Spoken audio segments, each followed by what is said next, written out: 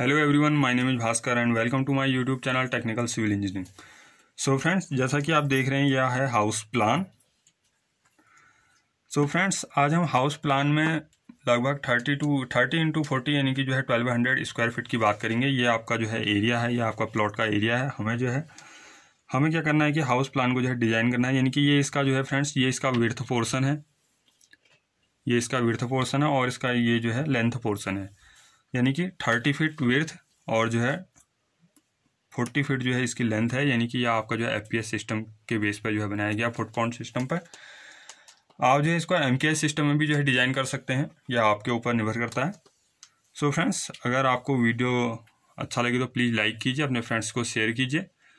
और जो फ्रेंड्स नए जुड़े हैं टेक्निकल सिविल इंजीनियरिंग चैनल से प्लीज़ जो है चैनल को सब्सक्राइब करके जो है बेल आइकन प्रेस करना ना भूलें। सो so फ्रेंड्स इसमें हमने क्या किया कि इस हमने बारह स्क्वायर फीट के इस एरिया को हमने क्या किया कि फोर पार्ट में जो है कैटेगराइज किया है। पहला पार्ट जो है हमने इतना रखा है। उसके बाद जो है ये जो पोर्शन है, ये सेकंड पार्ट में रखा है और ये थर्ड पार्ट में और जो है ये फोर्थ पार्ट में जो है इसको कैटेगराइज किया। सो so फ्रेंड्स हमने इसमें डिज़ाइन क्या करना है? हमने इसमें जो है इसकी शुरुआत कहाँ से की? स्टार्टिंग पोर्शन हमारा गेट हमने इधर से रखा। यानी कि यहाँ से आप जो है एंट्रेंस करेंगे, यानी कि इस हाउस के अंदर। तो एंट्रेंस के लिए हमने जो है इसमें गेट रखा है। और जो भी आपका आउटर ये आपकी क्या है फ्रेंड्स ये आपकी जो है आउटर वॉल है। आउटर वॉल को आप क्या कर सकते हैं? आप जो है वन एंड हाफ़ यानी कि डेढ़ ब्रिक वॉल से आप जो है इसको बना सकते हैं, जिसमें आप जो है इंग्लिश बॉन्ड से अगर आप बनाना चाहें ब्रिक वर्क करना चाहें तो आप कर सकते हैं। आप जो है फ्लेमिश बॉन्ड से करना चाहें तो आप जो है कर सकते हैं। अगर इंग्लिश बॉन्ड से करते हैं तो आपकी स्ट्रेंथ जो है एज कंपेयर जो है आपकी फ्लेमिश बॉन्ड स्ट्रेंथ जो है ज़्यादा आती है। सो so फ्रेंड्स इसमें हमने क्या किया कि हमने जो है इसका जो एंट्रेंस गेट से अंदर जैसे हम एंट्रेंस करते हैं तो हमने क्या किया कि eight feet seven inch length का हमने क्या लेंथ रखी इस रूम की और जो है सिक्स फीट फोर इंच जो है हमने इसकी विर्थ रखी। यानी कि यहाँ पर हमने जो है टू व्हीलर पार्किंग के लिए या जो भी आप नेसेसरी जो है, आप जो भी अगर कुछ आपको यूज़ करना है पोर्सन का तो उसके लिए जो हमने ये पोर्सन छोड़ दिया। आप टू व्हीलर भी खड़ा कर सकते हैं यहाँ पर। तो टू व्हीलर की आप पार्किंग कर सकते हैं और लेफ़्ट और राइट में हमने क्या किया कि एक एक जो है बेडरूम जो है आपका शो किया है यानी कि बेडरूम की जो लेंथ है यहाँ पर आपकी जो है ट्वेल्व फीट है और जो है बेडरूम की जो विर्थ है इलेवन फीट है और ऐसे ही यहाँ पे भी जो है विर्थ जो है इलेवन फीट है बेडरूम की लेंथ जो है एट फीट सेवन इंच है उसके बाद जो है हमने रखा है आपका ड्राइंग रूम और जो है वेटिंग रूम यहाँ पर आप जो है आप अपना जो है सोफा सेट वगैरह जो है सेट कर सकते हैं यहाँ पर यहाँ पर आपका ड्राइंग रूम या वेटिंग रूम जो है आपका गेस्ट रूम भी कह लीजिए आप फ्रेंड्स, इसमें ये जो आपका डिज़ाइन आपका बनाया गया है या जो आपका हाउस प्लान बनाया गया है, ये वास्तु शास्त्र के अनुसार जो है नहीं बनाया गया है फ्रेंड। क्योंकि वास्तु शास्त्र में क्या होता है, आपकी फोर डायरेक्शंस का हमें ध्यान रखना होता है ईस्ट वेस्ट नॉर्थ साउथ और उन फोर डायरेक्शंस की क्या होती हैं फोर जो है, यानी कि उप दिशाएँ उप दिशाएँ भी जो है होती हैं, सब डायरेक्शन तो जैसे क्या होता है कि पूरा पश्चिम, उत्तर दक्षिण हमारी चार दिशाएँ होती हैं और उन चार दिशाओं के बीच में इस तरीके से जो है कॉर्नर पर हमारी जो है उप दिशाएँ जो है चलती हैं। अगर मैं आपसे कहूँ कि ये मेरा ईस्ट पोर्शन है, ये मेरा वेस्ट पोर्शन है, ये मेरा जो है साउथ पोर्शन है, और ये जो है मेरा नॉर्थ पोर्शन है। सो so फ्रेंड्स, होगा क्या कि वेस्ट और जो साउथ है, यानी कि जो आपका क्या है, वेस्ट और साउथ के बीच में जो ये वाला कोण बनेगा, यह आपका कहलाता है जो है नैत्य कोण, यानी कि नैत्य कोण जो है कहलाता है वास्तुशास्त्र के अनुसार। और साउथ और ईस्ट के बीच में जो आपका एंगल बनेगा यह आपका जो है आग्नेय कोण या जो है अग्नि कोण कह लीजिए, इस तरीके से बनता है। और जो आपका ईस्ट और जो नॉर्थ के बीच में जो एंगल बनेगा, ये वाला, यानी कि ये अगर ईस्ट है, ये आपका जो है नॉर्थ है, इसके बीच में जो एंगल बनेगा, ईस्ट और किसके बीच में? ईस्ट और नॉर्थ के बीच में जो आपका एंगल बनेगा, यह कहलाएगा ईशान कोण। और ये आपका नॉर्थ है, ये आपका वेस्ट है तो नॉर्थ और वेस्ट के बीच में जो आपका एंगल बनेगा, यह आपका कहलाएगा वायव्य कोण। यह कहलाता है फ्रेंड्स, वास्तुशास्त्र के अनुसार। पर हम यहाँ पर वास्तु शास्त्र के अनुसार जो है बात नहीं करेंगे। अगर जो है आपको वा, वास्तु से रिलेटेड जो है कोई नॉलेज चाहिए वास्तु से रिलेटेड रिलेटेड आप कोई वीडियो देखना चाहते हैं तो प्लीज़ जो है आप जो है एस्ट्रोतेज नाम से आपका वीडियो यूट्यूब चैनल है सॉरी एस्ट्रोतेज नाम से उस पर जो है आप जो है उसे सब्सक्राइब कीजिए और जो है वीडियो देखिए। तो फ्रेंड इसमें हम जब उसके बाद जब हम ड्राइंग रूम या वेटिंग रूम के बाद लेफ़्ट पोर्शन की बात करते हैं तो हमने इसमें क्या किया है कि स्टेयर केस जो है प्रोवाइड किया गया है। ताकि आप जो है कल के दिन डबल स्टोरी ट्रिपल स्टोरी अगर आपको बनाना हो तो जो है आपके लिए स्टेयर केस प्रोवाइड किया गया है। इसमें इसकी जो लेंथ रखी गई है, यह जो है six feet sorry nine feet eight inch इसकी लेंथ रखी गई है स्टेयर केस की। और जो इसकी विर्थ रखी गई है सिक्स फीट टेन इंच जो है इसकी लेंथ रखी गई है। और आपका जो है उन्नीस फीट छः इंच का यह है आपका इसकी विर्थ ड्राइंग रूम की। और जो है ten feet three ten feet three inch जो है इसकी विर्थ है और नाइनटीन फीट सिक्स इंच जो है, इसकी जो है विर्थ रखी गई है। विर्थ या लेंथ आप देख लीजिए, यानी कि ये लेंथ पोर्सन हो गया ड्राइंग रूम के लिए, ये इसका जो है विर्थ पोर्सन हो गया। उसके बाद हम जब आगे जाते हैं तो यहाँ पे जो है कुछ खुला स्थान, यानी कि पैसेज रखा गया है, लगभग seven feet four inch width का, और इसके राइट साइड जो है आपका किचन रखा गया है टेन फीट विर्थ का, और जो टेन फीट जो है इस तरीके से, और जो है सेवन फीट वन इंच जो है आपकी लेंथ पोर्सन जो आपकी फोर्टी फीट वाली है, उसके हिसाब से सेवन फीट वन इंच जो है ये रखा गया है। उसके बाद पैसेज की अगर जो है लेफ़्ट साइड बात करें फ्रेंड्स तो यहाँ पर टॉयलेट प्लस बाथरूम एक तो अटैच है। दोनों जो है टॉयलेट प्लस बाथरूम जो है कम्बाइंड है यहाँ पे। और उसी के बगल में आपका क्या है कि एक जो है आप जो है टॉयलेट और प्रोवाइड कर सकते हैं, जो यहाँ से जिसका जो आपका डोर बनाया गया है, इस बेडरूम से जो है बनाया गया है। यानी कि इस बेडरूम से जो है ये टॉयलेट आप जो है यूज़ कर सकते हैं। उसके बाद क्या है कि इधर भी बेडरूम राइट साइड जो है इधर भी बेडरूम बनाया गया है, जिसकी विर्थ क्या है आपकी टेन इलेवन फीट है और जो लेंथ है ट्वेल्व फीट रखी गई है।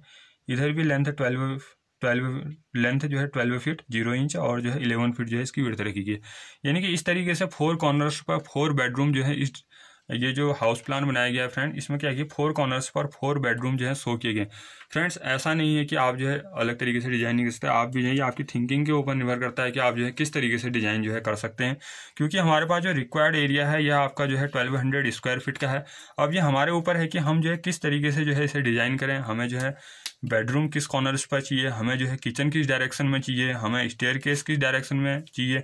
तो जनरली जो आपके किचन्स हो गए, जो किचन हो गया, अगर वास्तुशास्त्र के अनुसार बात करें तो किचन स्टडी रूम टेंपल और जो आपके बाथरूम होते हैं, ये आपके ईस्ट पोर्सन में होते हैं, जिस जिस साइड आपका जो है इंट्रेंस यानी कि डोर भी जो है प्रोवाइड किया जाता है, यानी कि डोर्स हो गए आपके स्टडी रूम हो गया टेंपल हो गया, बाथरूम हो गया, ये सब ईस्ट डायरेक्शन में जो है शो किए जाते हैं। और जो आपके वेस्ट पोर्सन में आते हैं वह आपके जो है स्टेयर्स होगी, टॉयलेट हो गया, वह आपके जो है वेस्ट पोर्सन में आते हैं। तो इस तरीके से जो है वास्तुशास्त्र में बात की जाती है, लेकिन हमें यहाँ पर वास्तुशास्त्र को ध्यान में रखते हुए ये जो है डिज़ाइन इस तरीके से बनाया गया है। तो इसमें फ्रेंड्स ये क्या है, ये आपके आउटर वॉल हैं, जो ब्लैक कलर में दिखाया गया है जो आउटर जो है, ये आपके आउटर वॉल है, आप जो है one and half brick wall में इसे डिज़ाइन कर सकते हैं। उसके बाद फ्रेंड्स क्या है कि ये जो इस तरीके से जो अंदर जो इंटीरियर वॉल्स दिखाई गई हैं, इन्हें जो है आप, जैसे आपकी टॉयलेट है टॉयलेट प्लस बाथरूम है या किचन की जो वॉल्स हैं, इनको जो है आप जो है हाफ़ ब्रिक वॉल यानी कि जो है आप इसमें इनको जो है स्ट्रेचर बॉन्ड के ज़रिए जो है, यानी कि दस सेंटीमीटर थिकनेस की, यानी कि हाफ़ ब्रिक वॉल से जो है डिज़ाइन कर सकते हैं। और इनमें आप क्या है कि फ्रेंड्स नंबर ऑफ़ कॉलम्स जो प्रोवाइड किए गए हैं, आपके one column two three four five six seven eight nine ten eleven twelve thirteen एक यहाँ पे भी प्रोवाइड कर सकते हैं fourteen fifteen sixteen seventeen eighteen nineteen twenty इसमें जो है हमने नाइनटीन कॉलम जो है प्रोवाइड किए गए आप जो है ट्वेंटी कॉलम भी प्रोवाइड कर सकते हैं यहाँ पे। लगभग जो है अठारह से बीस कॉलम जो है आपके बारह सौ स्क्वायर फीट का अगर आप जो है फोर बी एच के का, यानी कि फोर बी एच के यानी कि four bedroom one hall one kitchen का जो है आप डिज़ाइन बनाना चाह रहे हैं या हाउस प्लान बनाना चाह रहे हैं तो आप जो है इतने कॉलम्स जो है रखिए।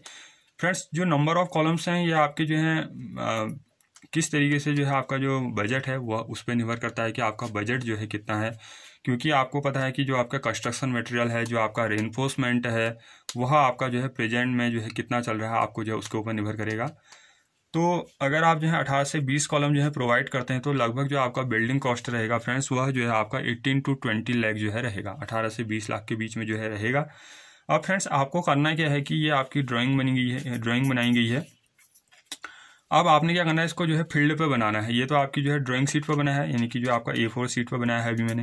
लेकिन आपने क्या करना है, इसको जो है फ़ील्ड पे जो है एग्जीक्यूट करना है, फ़ील्ड पे जो है शो करना है। तो फ्रेंड्स आप क्या करते हैं, वहाँ पे जो है कॉलम की लेआउट करते हैं। उसके लिए आपने क्या करना होता है कॉलम पे जो है कॉलम लेआउट करने के लिए जो है आपको वहाँ पर मार्किंग करनी पड़ती है अलाइनमेंट सेट करना होता है।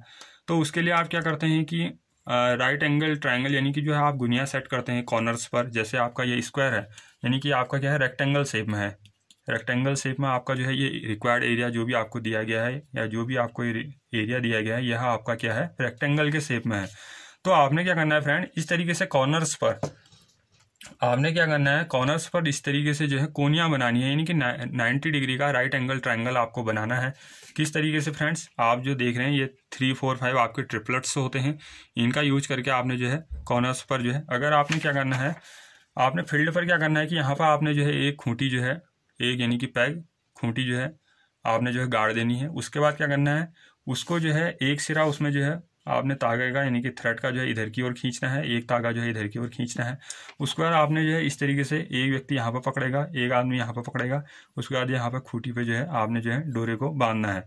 तो इस तरीके से जब आप इसको मिलाएँगे तो आपका जो है थ्री, अगर ये थ्री मीटर है या फोर मीटर है तो ये आपका फाइव मीटर होगा, ये आपका जो है राइट एंगल बनेगा। अब आपने क्या करना होता है कि साइड पर जब आप कॉलम की लेआउट करते हैं तो आपने जब सेंटरिंग और जो है एक्सेंट्रिक कर ली तो आपने जो है वहाँ पर क्या करना होता है बुर्जी पिलर बनाने होते हैं।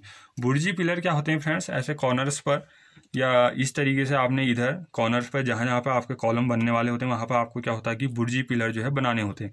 बुर्जी पिलर से क्या बुर्जी पिलर बनाने से क्या सहूलियत होगी आपको फ्रेंड्स आप जो है सेंटरिंग और जो एक्सेंट्रिसिटी होती है, उसको आप जो है चेक कर सकते हैं।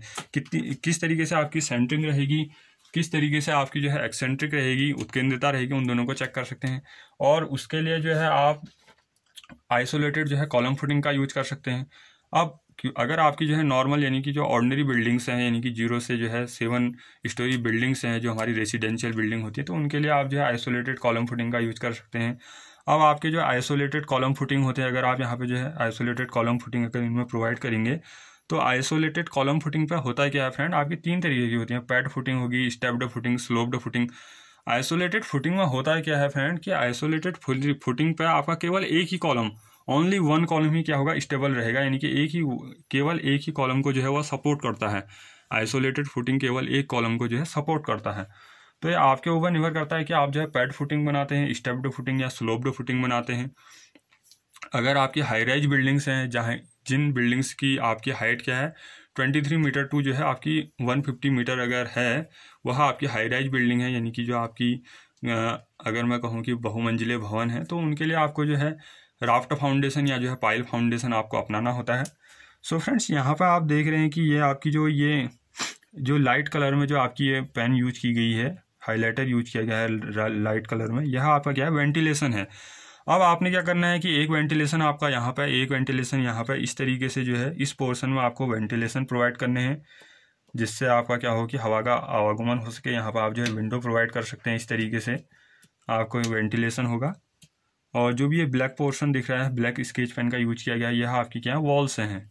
इस पोर्शन में आपकी आउटर वॉल्स आ गई, और जो इंटीरियर जो है वॉल्स के अंदर का जो इंटीरियर पोर्शन है, इसमें आपका क्या है कि आपकी जो है आप कहीं पे जो है, जैसे बाथरूम टॉयलेट किचन की जो वॉल्स हैं पैराफिट वॉल के लिए जो यूज़ करते हैं, यानी कि हाफ़ ब्रिक वॉल तो आप जो है हाफ़ ब्रिक वॉल का यूज़ यूज़ जो है कर सकते हैं पार्टीजन वॉल की तरह। सो so फ्रेंड्स इनके जो आपके साइज़ लिखे गए हैं, या डायमेंशन जो भी इनके अंदर लिखी गई हैं लेंथ और विर्थ यह जो है इसमें शो की गई है। प्लीज़ जो है आपने देखिए, और यह आपका जो है फोर बेडरूम वन हॉल और वन किचन के लिए है। आप जो है बारह सौ स्क्वायर फीट का ही बना सकते हैं, ऐसे जो है थर्टी फीट और फोर्टी फीट का यह है आपका। आप जो है फोर्टी फिफ्टी का ही बना सकते हैं इस तरीके से, या आप जो है पंद्रह सौ स्क्वायर फीट का ही बना सकते हैं, या आपकी सोच पर निर्भर करता है कि आप किस तरीके से सोच सकते हैं। सो so फ्रेंड्स आज हम हाउस प्लान से रिलेटेड इस लेक्चर में जो है इतनी बात करेंगे। अगर आपको प्लीज़ अगर आपको वीडियो अच्छा लगा तो प्लीज़ लाइक कीजिए, अपने फ्रेंड्स को जो है शेयर कीजिए, और जो नए चैनल के साथ जुड़े प्लीज़ जो है सब्सक्राइब करके जो है बेल आइकन को प्रेस करना ना भूलें। Thank you for watching